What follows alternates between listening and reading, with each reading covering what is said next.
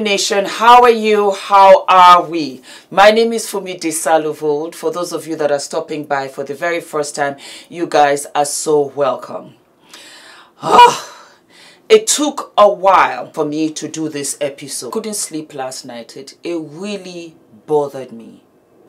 I couldn't sleep. I tossed and turned. I was up at 1. I was up at 4 a.m and I just kind of finally woke up at around 6. I just kept on thinking about what had happened to this beautiful girl. So let me tell you what I know. Shanquella Johnson, 25 years old. She has a hair breeding business. Beautiful girl. And, um, and she went on the 28th of October to Cabo San Lucas. She told her mother that she was going there to celebrate a birthday party for one of her friends. The following day, she was dead. Just like that. She went to Cabo with six other friends. I'm going to list all of their names right here. And one of her friends called her mother and told her mother that she had alcohol poisoning. Her mother told the friend, tell Shanquella to call me when she comes to. And about 24 hours later, she got another call from them saying that her daughter was dead. The mother said that each and every one of those friends had a different story. It sounded fishy. They got the FBI involved. And when the autopsy came, it didn't show any alcohol in her system. What it showed was a broken neck and a broken spine. And in the autopsy, it also read that she had been beaten. $6,000 and two weeks later, the family was able to bring the body back. The friends that were in Cabo left her body and came back home. In a matter of what, one, two days? They went to the mother's house to drop off Shanquella's things. Friends. And that was the end of that. No queries, no questions, nothing to everybody's utmost shock and horror, a video was released. We do not know who released this video. I watched the video and I regret watching it because it has I've, I've played it many times in my head and it's so frightening. It's so frightening. And I didn't notice it initially because of how horrific the video was. You can watch this video on my Instagram stories. You guys follow me on Instagram because I'm allowed to put up stuff there that you just can't put here because YouTube does not tolerate that. And I agree. In this case, yes, I do. But if you want to watch the video, you just go to my um, Insta stories on Instagram. And it showed one of her friends. As a matter of fact, I'm going to call out her name. Daejhanae Jackson. And what's ironic is that this girl is supposed to be an aspiring, she calls herself an aspiring healthcare professional, was beating, was beating Shanquella literally to death. The hatred that this girl had for Shanquella was shocking and you could see it come right through the screen. I did not notice that Shanquella was naked. She was beating her naked. And there were other people in the room, plus the guy that was filming Shanquella being beaten. He even said, Shanquella, why don't you fight back? And you could hear a very little voice, no. Look, can you at least fight back? No. What, At least something. At least fight back, something. Get up, bro. Get up. scared. She was afraid, she was scared, she was humiliated. She was naked in front of men and women. She was naked in front of her friends. And this beast, this animal, was beating her. She beat her so much that she swung her around and Shanquella hit the floor. And she just sat there like a rag doll. And she came in and started blowing her again. You know, I tell you this, as a, as a mother, I empathize with, with Shanquella's mother. I empathize with Shanquella's mother. And until Adrian was born, I was very much against the death penalty. Very much against it.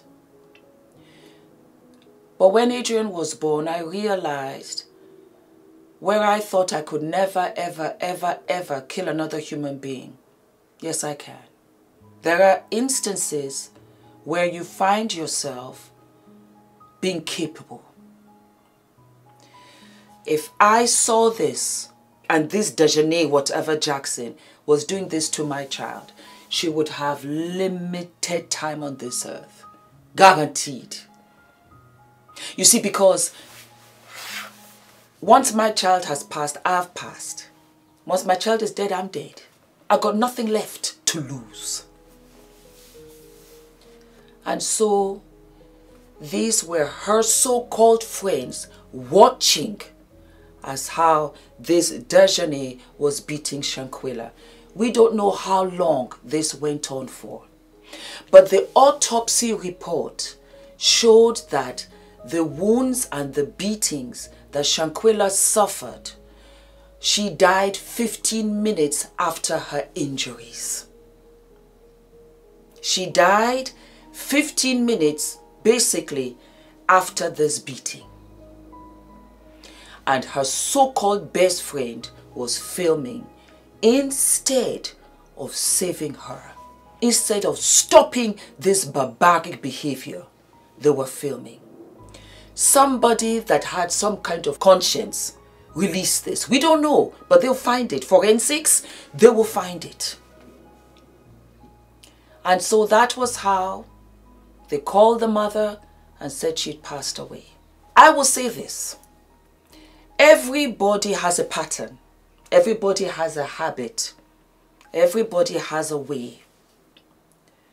My friends, my family know I don't drink alcohol. They know I don't drink. I don't. I don't. From New York to Cali to wherever, to Niger, Fumi doesn't drink. So if you called my mother and said that Fumi was inebriated or was drunk or was out of it because of alcohol poisoning, that's a red flag. Fumi doesn't drink. And who are these friends? Do you know when I went to see Ola in Norway, my parents spoke to Ola. They wanted to know everything about him. They wanted to know where I was staying and, and they checked. When these friends called mama to say that your child has alcohol poisoning, or let us say it had been me, put me on FaceTime. Let me see her. Put me on FaceTime. Let me see her. Where is she? I need to see her face. Where in this day and age where technology has advanced, FaceTime. I FaceTime my mother all the way in Nigeria. I FaceTime my sister all the way in New York. Anywhere you can FaceTime, I want to see her. When Shanquella said goodbye to her mother, her beautiful, wonderful mother did not know that that was the last time. So, I am going to tell you in my humble opinion what I think happened. And before I start, I'm going to say this. Jealousy is a horrible thing. And it is usually amongst women. It is blinding. It is pure hatred. for that other girl. Usually amongst women, usually amongst our kind. And when I say our kind, black on black, white on white. It's never really black and white or white and black. It's always your own people that have hatred for you, that have jealousy for you. Because somewhere along the line, even though you started at the same level or started at the same line, one of you will go further than the other, quicker, for whatever reason, different passions or whatever. And so that person that's left behind or feels that they are left behind, there's a deep envy, jealousy, and hatred for the other one. You now invest everything. Your happiness, your disappointment is now based on that other person that used to be your friend. You blame that person. You hate that person's shine. Every time that person wins, it brings in a deeper hatred for you because some people are like that. I have an episode called Know Your Frenemies because I've had this kind of experience. You've got to know who your friends are. You've got to know your enemies because sometimes your enemies are masking as your friends. That's what this is.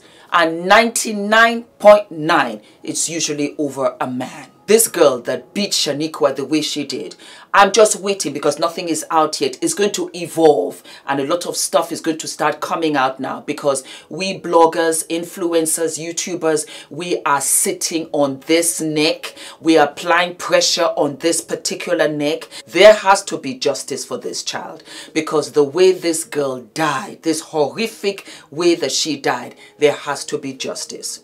So with everything I've told you, Let's have a clean slate. And I humbly now tell you what I think happened. Shanquella was a dead man walking. These so-called friends of hers, the six of them, had planned this trip solely to kill Shanquella, to get rid of Shanquella. Cabo was far enough to get her away from everybody. Also for them to be able to get away from authority. Cabo was the best place. It had nothing to do with the birthday party. When you travel and you go for a birthday, for a wedding, you see people putting up onto their socials as they are going. We're going to Cabo. We're going to have a birthday party. I cannot wait to see you guys. Each and every one of them would have shown that because this is simple human behavior, the psychosis of human beings. That's how we behave. That's what we do. We put on the socials, this is where we're going, or guess where we're going, and we have our party outfits out on the bed. Did you notice? Not one of them did it. Got to the hotel. There is no reservation for a party. There is no reservation for a dinner party. There was nobody at the swimming pool. There was nobody in the lobby. There was nobody at the reception who had been told that there was a party of some sort. Not one of them. It was only Shanquella that told her mother, I am going for a birthday party. When you watch, if you can watch the horrific video of Shanquella's beatings, there was no festivities in the room. The room looked very bare as a matter of fact, as if there was a fight that was going to take place and there were things had been moved away in the room so that they did not destroy the furniture that belonged to the hotel. If you watch it, you will see. And you will see the beater in her robe. She wasn't dressed or anything. I believe that Shanquella was a dead man walking. That she went to Cabo unbeknownst to her that she was walking into a death trap. They had planned this for weeks. They had put things in motion and they were able to get her out there. I believe Shanquella was in the bathroom I believe that everybody arrived because you have to understand also human behavior. When you are coming, you will have drinks, soft drinks, virgin margaritas, whatever, and you'll be all in the room talking and catching up. Why? Because you haven't seen each other for a while. So that night, when you come in, you would either be in the room and you're on social media. We're here, we have arrived. Some of you might be tired. Some of you might want to be in the lobby. Some of you might have even gone out. There was none of that in all six of them. All six of them, nobody went out. Nobody went to the social media to say that they'd arrived. Nobody had drinks. Nobody even brought the celebrant to say happy birthday, blah, blah, blah, of all six of them. Nobody. So they arrived and they were gassed up. They were prepared mentally, emotionally, physically, because tomorrow they were going to kill Shanquella. You wake up in the morning and what do you do? Have breakfast or whatever, but nobody came downstairs. Check the lobby. Check the reception. Check breakfast. Nobody came down. Shanquella went to go and have her bath. And they dragged her out of the bath naked. That was the starting point of it. And they started to beat her and humiliate her. Shame what you, you want to hide. There's nothing you can do. And the friend said, won't you fight? And she said, no. Why? Again, because Shanquella was in so much shock, she didn't know what was coming at her. You see, for you to fight, you have to have adrenaline. You have to be mad. You have to be angry. You have to have been provoked. Shanquella was caught by surprise. That's part of why she couldn't fight because she didn't know what was going on and these were her friends. It's a thing where, and I've said it before, if you watch Braveheart, fantastic film, fantastic. Mel Gibson was the lead actor in that film. He had gassed himself up. He was going to go and fight his enemies and he went there in the night. He was going to meet his arch enemy and he thought he was ready. Up until the smoke lifted and he saw it was his friend. He was so perplexed. He was so hurt that the spear fell from his hand. He couldn't fight. He froze. And that was what happened to Shanquella. She froze. Around her like so were her friends. And she couldn't believe what was going on. And they beat her, beat her, and they beat her, and they beat her. Over 30 blows to the head. And they stood and watched. They stood and watched. They all, they all must go to prison. And while I'm on it, not American, not any prison in America, the Mexican jail. You want to play Cabo? Then we'll play Cabo. They go back there. That is the jurisdiction because that was where the crime took place. We do not know whether her injuries quote unquote, that were afflicted by these people because her injuries caused her death. But are these the injuries that we see caused by this woman the ones that caused her death. You see, you're going to have lawyers. I almost studied law. I love law. I think it's sexy as hell, but it's dirtier than dirt. And I have a conscience. That's why I said, let me be an entertainment. I'll do that. But you're going to have the lawyers who are going to spin it.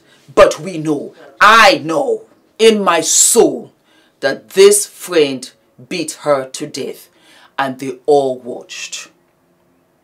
Because that was the plan. She was now dead. I believe she died.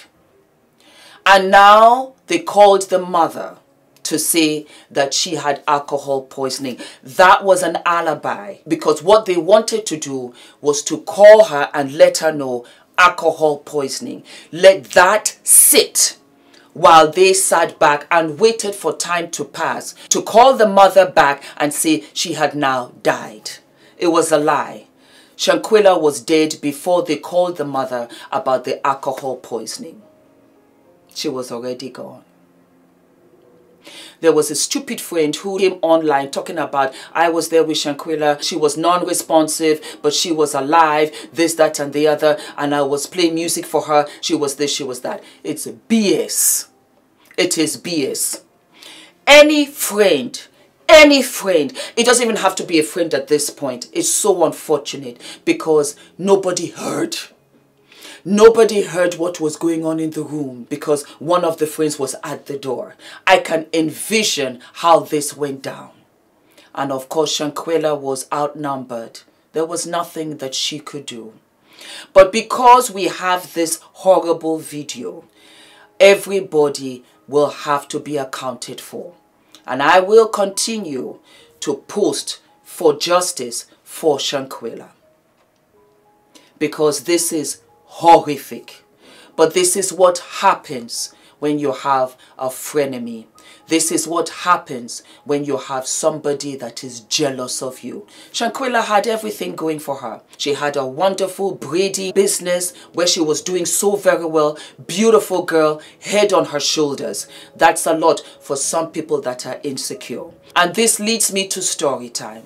Listen to the story. It's been 10 years now. And when I look back, I thank God. I thank you, Lord, for all that you have done. I had a couple of frenemies and I did not know. And in many ways, this is why I started Sister to Sister. In many ways, this is why I said I have to be a mother to a lot of you, a sister to a lot of you, because we are missing so much as women. And women, we are the most powerful, but we do not know it. On top of not knowing it, we hate each other so much that that is why it's easy, really easy, because guys get a front row seat of how we treat each other and in turn that's how they treat us. I had this friend and we were both models, both of us. I knew she wasn't that great when it came to personality. She was quiet. Opposites attract. I am of a much more colorful personality. To be honest, most of my auditions that I booked was because I was physically present and they loved my personality. And they said, well, she's model, we'll take her. When it came to acting, the same thing. I quickly realized that when we went out, it was always me that got the attention. And I would dim myself down so that she could get her shine. It never really completely worked. I could always see that she had some kind of resentment. And I did the best that I could. I did the best that I could by her, but it was never enough. I would hide when I got auditions. I would hide if I did well for myself. I would hide all of these things from her. And I noticed it was always amongst my black sisters. I hate to say it, but I'm going to call it like it is because this is what happened to Shanquella right here. It has never been my white sisters. It has always been my black sisters because they compete against me when they should compete against themselves. And so I found myself in a situation and bless her heart because God knows I loved her. What I did not know was that she really wanted to see me dead. And um, in many ways, I feel sad for her. In many ways, it's not her fault, or maybe it is. But I got to find out after that her husband would even say, why can't you be like Fumi? Why can't you be stylish and dress up like Fumi? And that even fueled her hatred for me. To the point, and I don't know why he did it, we went for her wedding and her husband at the wedding reception speech to her called my name. I mean, if you don't have hatred for somebody, I can see how you could have a reason too. And it came to a head. It came to a big blowout with five girls and me and I was going to meet them. They had invited me to come and meet them. I got dressed and I was ready. And as I was leaving, Ola said, don't go. You know, I tell you something about Ola. He's a lovely man. He's my best friend. He's my husband. He doesn't talk too much. He doesn't say too much. No, he doesn't. But he never liked these girls. And when he said, don't go, I looked at him.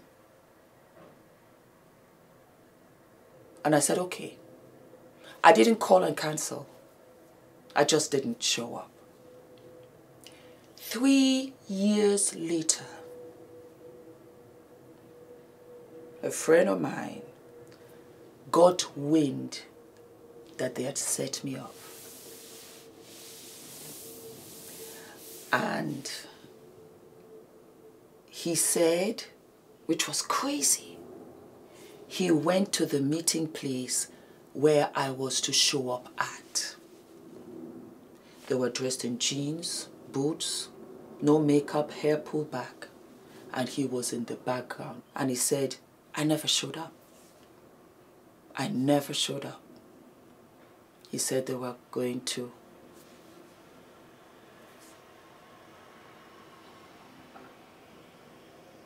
till this very day. I have like um, a lemon ice spray and I have my skorker which is like a huge alarm and I have a chain till this very day.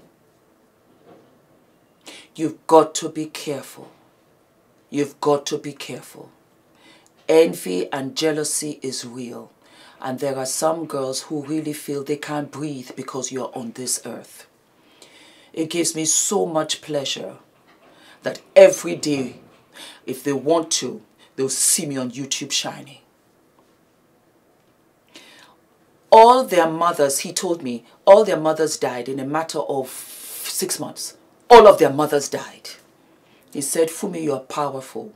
He said, for whatever reason, they felt as if I was some kind of witch. yes, they did.